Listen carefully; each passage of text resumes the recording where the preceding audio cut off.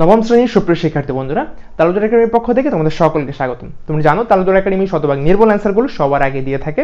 তারই ধারাবাহিকতায় আজকে আমরা তেরোতম সপ্তাহের যে অ্যাসমেন্টের অ্যান্সারগুলো সেগুলো দেখব।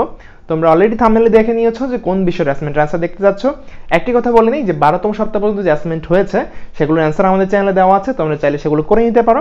অ্যান্সার খুঁজতে সমস্যা হলে আমাদের চ্যানেলে প্লেলিস্ট আছে প্লেলিস্টে গেলে সেই অ্যান্সারগুলো পেয়ে যাবে।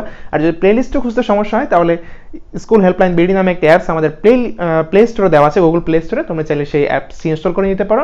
সেখানে সকল ক্লাসের অ্যান্সার দেওয়া আছে প্লেলিস্ট আকারে। এবং সেখানে প্রশ্নগুলো পেয়ে যাবে। তো চলো চলো কথা না বাড়িয়ে আমরা অ্যান্সারগুলো দেখে নিই। নবম শ্রেণির সুপ্রিয় শিক্ষার্থী বন্ধুরা, তোমাদের তেরোতম সপ্তাহের পদার্থবিজ্ঞান বিষয়ের অ্যাসাইনমেন্ট অ্যান্সার দেখার জন্য আমরা কম্পিউটার স্ক্রিনে চলে আসলাম। তোমরা দেখতে পাচ্ছ অ্যান্সারটি রেডি অ্যান্সারটি দেখার আগে আমরা প্রশ্নটি দেখে নিই এবং অ্যাসাইনমেন্টের শিরোনামটি কী হবে সেটা জেনে নিই। শ্রেণি নবম পদার্থবিজ্ঞান বিষয়। এটি তোমাদের তেরোতম সপ্তাহের অ্যাসাইনমেন্ট যেহেতু এর আগে পদার্থবিজ্ঞান বিষয় দুইটি অ্যাসাইনমেন্ট হয়ে গিয়েছে, তাই এটি তিন নং অ্যাসাইনমেন্ট অ্যাসাইনমেন্ট বা নির্ধারিত কাজ তিন। এটি দ্বিতীয় অধ্যায় গতি থেকে প্রশ্ন করা হয়েছে। এখানে অ্যাসাইনমেন্টের যে কাজটি, সেটি হচ্ছে তিনটি কাজ দেওয়া আছে। এক নম্বর কাজ হচ্ছে চিত্রের সাহায্যে ব্যাগ। আমরা একটু জুম করে যদি দেখি তার মানে ক্লিয়ার দেখা যাবে। তো চিত্রের সাহায্যে ব্যাগ, সমব্যাগ, ত্বরণ ব্যাখ্যা করো। কাজ দুই নিচের চিত্রে একটি বস্তুর কণা বিভিন্ন সময়ে বিভিন্ন অবস্থান দেখানো হলো। চিত্রে O A A B BC O CD অংশে ত্বরণ, মন্দন, নির্ণয়পূর্বক বস্তুর কণাটির অতিক্রান্ত মোট দূরত্ব নির্ণয় করো। কাজ তিন এখানে একটি চিত্র দেওয়া আছে বলা হয়েছে লেখচিত্রের সাহায্যে গতিবেগের পরিবর্তন বিশ্লেষণ করো। তো চলো আমরা অ্যাসাইনমেন্টের অ্যান্সারে চলে যাই। তার আগে অ্যাসাইনমেন্টের শিরোনামটি কী হবে সেটি দেখে নিই। শ্রেণি নবম, বিষয় পদার্থবিজ্ঞান অ্যাসাইনমেন্ট নং তিন অ্যাসাইনমেন্টটির শিরোনাম হবে গতির ধারণা। আবার বলে দিচ্ছি অ্যাসাইনমেন্টটির শিরোনাম হবে গতির ধারণা। চলো অ্যান্সারে চলে যাই। প্রথম প্রশ্ন ছিল, চিত্রের সাহায্যে ব্যাগ ও সমবেগ ত্বরণ ব্যাখ্যা করো। তো আমরা কাজ এক দিয়ে শুরু করব, যে ব্যাগ কোনো বস্তু কোনো নির্দিষ্ট দিকে একক সময় যে দূরত্ব অতিক্রম করে, তাকে ব্যাগ বলে। ব্যাগ ভি ইকুয়াল দূরত্ব বাই সময়, দূরত্ব এস সময় টি সমবেগ যদি কোনো বস্তুর গতিকালে তার ব্যাগের মান ও দিক অপরিবর্তিত থাকে, তাহলে সেই বস্তুর ব্যাগকে সমবেগ বলে। অর্থাৎ কোনো বস্তু যদি নির্দিষ্ট দিকে সমান সময়ে সমান পথ অতিক্রম করে, তাহলে বস্তুর ব্যাগকে সমবেগ বলে। তারপর ত্বরণ এটাকে তোমরা কালার পেন দিয়ে কালার করে নিতে পারো। ঠিক আগেরগুলোর মতোই। ত্বরণ লিখে আমরা লিখব, সময়ের সাথে কোনো বস্তুর অসমবেগের পরিবর্তনের হারকে ত্বরণ বলে। ত্বরণ ইকুয়াল শেষ বেগ মাইনাস আদিবেগ বাই সময়। শেষ বেগ মাইনাস আদিবেগ বাই সময়। এটা হচ্ছে ত্বরণের সূত্র। আচ্ছা এখানে চিত্র দিতে বলছে, চিত্রটা আমরা একটু পরে দেখাবো। চিত্রটা, সেই চিত্রটা তোমরা এখানে দিয়ে দিতে পারবে।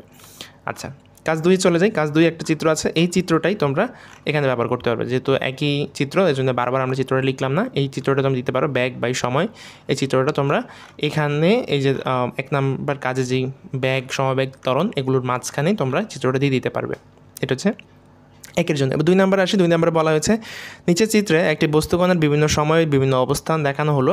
এই চিত্রটি এখানে চিত্রে উল্লিখিত ও এ এ বি আমরা একটু জুম করে দেখি O A A B O A A B BC CD অংশের ত্বরণ মন্দন নির্ণয়পূর্বক বস্তুকণাটি অতিক্রান্ত মোট দূরত্ব নির্ণয় করো। চিত্রটি আমরা এখানেই তুলে ধরলাম। ঠিক যে চিত্রটি দেওয়া হয়েছে, চিত্রটি এটি। কাজ দুই লিখে তোমরা শুরু করবে, কাজ দুই। চিত্রটি এটি। তোমরা চাইলে চিত্রটি এঁকে নিবে অবশ্যই। কাজ একেও চিত্র আঁকতে হবে। এই চিত্রটা এঁকে নিবে, কাজ দুইও এই চিত্রটা এঁকে নিবে। এখানে ওয়াই কলা ওয়াই অক্ষে হচ্ছে ব্যাগ এক্স অক্ষে হচ্ছে সময়। এক্স অক্ষের সময় শূন্য, এখান থেকে তারপর টেন দ টোয়েন্টি থার্টি ফর্টি আর এখানে ও থেকে এ এ থেকে বি বি থেকে সি সি থেকে ডি ও থেকে এর যেই সময়, সেটা হচ্ছে টেন সেকেন্ড টেন এ থেকে বি টেন টেন থেকে টোয়েন্টি বি থেকে সি টোয়েন্টি থেকে থার্টি সি থেকে ডি থার্টি থেকে ফর্টি এবং এ থেকে বি এটা ফাইভের মধ্যে আছে। বি থেকে সি যখন সি বিন্দুটা হচ্ছে টেনের মধ্যে এবং ডি বিন্দুটা আবার শূন্যের মধ্যে। তো এই হচ্ছে আমাদের চিত্রটি। চিত্রটি তোমরা অবশ্যই এঁকে নিবে। প্রশ্নে বলা ছিল যে চিত্রে উল্লেখিত O A A B BC O CD অংশের ত্বরণ মন্দন নির্ণয়পূর্বক বস্তুকণাটির অতিক্রান্ত দূরত্ব নির্ণয় করো। ত্বরণ মন্দন নির্ণয়পূর্বক বস্তু ত্বরণ বা যেটা ত্বরণ হবে সেটা ত্বরণ, যেটা মন্দন হবে সেটা মন্দন নির্ণয় করে বস্তুর কণার অতিক্রান্ত মোট দূরত্ব নির্ণয় করতে হবে। মানে বস্তুটি কত দূরত্ব অতিক্রম করেছে। তাহলে ও এ অংশের ত্বরণ দিয়ে আমরা শুরু করি। ও এ অংশের ত্বরণ, আমরা জানি ত্বরণ ইকুয়াল শেষ বেগ মাইনাস আদি বেগ বাই সময়। তো ও এ অংশে আমরা শেষ বেগ পাচ্ছি ফাইভ যেহেতু ও এ যখন পৌঁছায় তখন ছিল ফাইভ আর ও অংশ শূন্য ছিল। তাহলে শেষ বেগ হচ্ছে ফাইভ আদি বেগ শূন্য ফাইভ মাইনাস শূন্য, সময় হচ্ছে টেন সেকেন্ড সময় লেগেছে টেন তাহলে five by ten five by ten হচ্ছে one by two one by two মানে হচ্ছে point five M S inverse two যেহেতু তরণের একক হচ্ছে এম এস ইনভার্স টু তাহলে মিটার পার সেকেন্ড স্কোয়ার তো সেইটাই আমরা লিখলাম। তাহলে ওয়ে অংশে গাড়িটি সমতরণে চলছে। এবার এবি এবি যে অংশ এবি অংশের ত্বরণ বের করব। ত্বরণের যে সূত্র, সেই সূত্র অনুসারে আমরা লিখতে পারি যে শেষ বেগ মাইনাস আদি বেগ বাই সময়। শেষ বেগ ছিল এখানে ফাইভ মাইনাস আদি বেগও ছিল ফাইভ তার ফাইভ মাইনাস ফাইভ সময় হচ্ছে বিশ থেকে টেনের যেহেতু দশ থেকে বিশে দিয়ে গেছে, তাহলে বিশ থেকে টেন বিয়োগ হবে। বিশ থেকে টেন বিয়োগ করলাম টোয়েন্টি থেকে টেন বিয়োগ করলাম, উপরে five minus five zero zero by ten zero by ten মানে zero M S inverse two তাহলে এবি কণাটি সমবেগে চলছে, ঠিক আছে? এবি কণাটি তাহলে সমবেগে চলছে। এবার বিসি অংশের ত্বরণ। বিসি অংশের ত্বরণ ত্বরণের সূত্র শেষ বেগ মাইনাস আদিবেগ বাই সময়। তো শেষ বেগ এখানে কিন্তু টেন আর আদিবেগ হচ্ছে ফাইভ তাহলে টেন মাইনাস ফাইভ আর সময় হবে যেহেতু বিশ থেকে তিরিশের দিয়ে গেছে, তাহলে থার্টি মাইনাস টোয়েন্টি তাহলে উপরে টেন মাইনাস ফাইভ হচ্ছে ফাইভ নিচে থার্টি মাইনাস টোয়েন্টি হচ্ছে টেন তাহলে five by ten five by ten মানে one by two one by two হচ্ছে point five M S inverse two তো এবার সিডি অংশের ত্বরণ। সিডি অংশের ত্বরণ, ত্বরণের সূত্র অনুসারে শেষ বেগ মাইনাস আদিবেগ বাই সময়।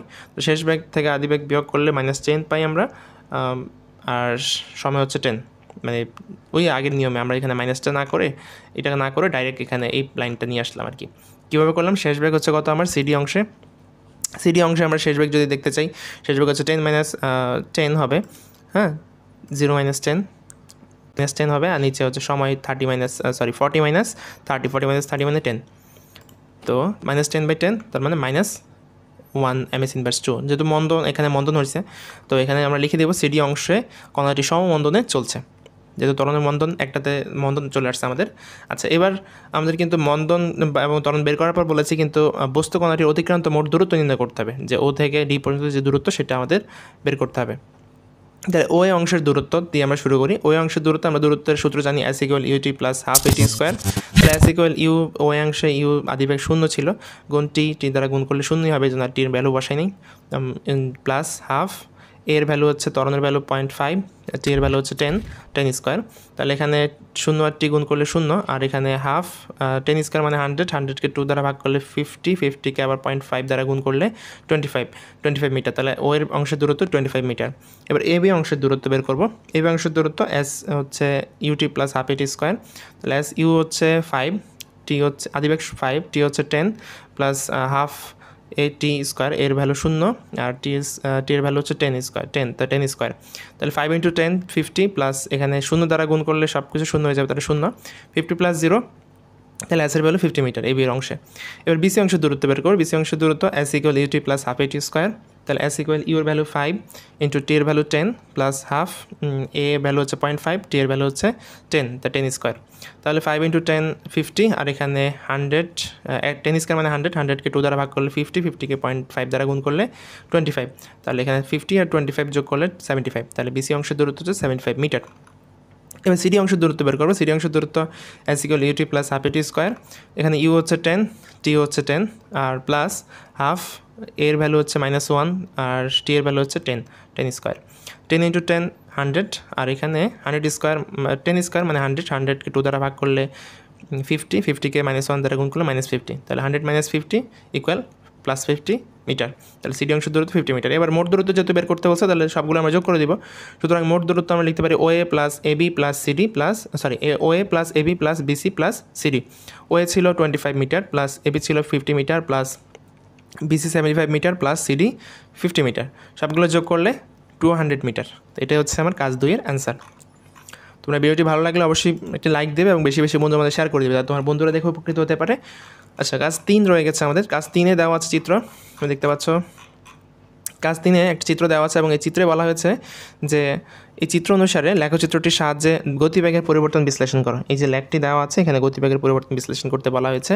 তো আমরা কাজ তিন লিখেভাবে লিখব। ওপি অংশে যেই কণাটি কণাটি সমতরণে চলছে এবং দুই সেকেন্ডে টু সেকেন্ডে কণাটির bag four M S inverse one তো ত্বরণ কী হবে? ত্বরণের সূত্র অনুসারে four minus zero by two minus zero four by two হচ্ছে এখানে জিরো থেকে বিয়োগ করলে ফোর আর টু থেকে জিরো বিয়োগ করলে টু ফোর বাই টু হচ্ছে two M S inverse two এটা হচ্ছে ওপি অংশের ত্বরণ।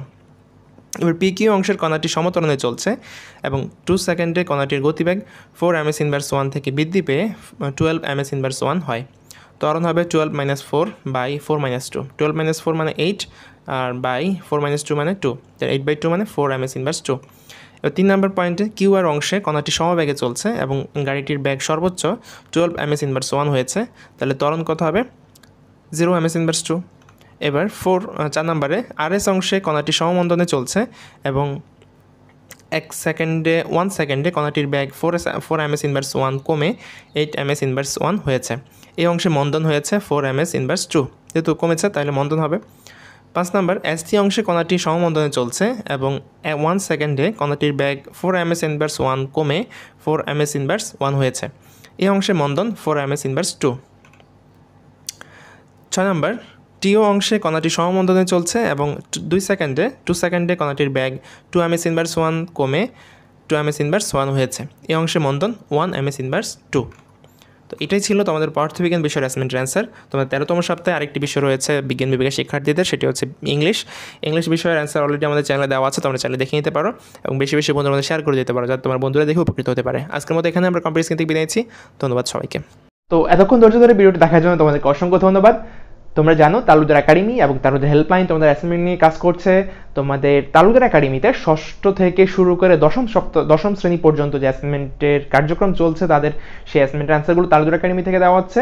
আর তালুদার হেল্পলাইন থেকে এসসি দু হাজার একুশ এসি দু হাজার একুশ এসি দু হাজার বাইশ সালের পরীক্ষার্থীদের অ্যাসাইনমেন্টের অ্যান্সারগুলো দেওয়া হচ্ছে। তো তোমরা যারা এখনও চ্যানেলগুলোকে সাবস্ক্রাইব করেন চ্যানেলগুলোকে সাবস্ক্রাইব করে দাও নোটিফিকেশন আইকনটি অন করে দাও, যাতে পরবর্তী ভিডিও ছাড়ার সাথে সাথে তোমাদের কাছে চলে যায়। স্টিল দেন টেক কেয়ার ধন্যবাদ সবাইকে।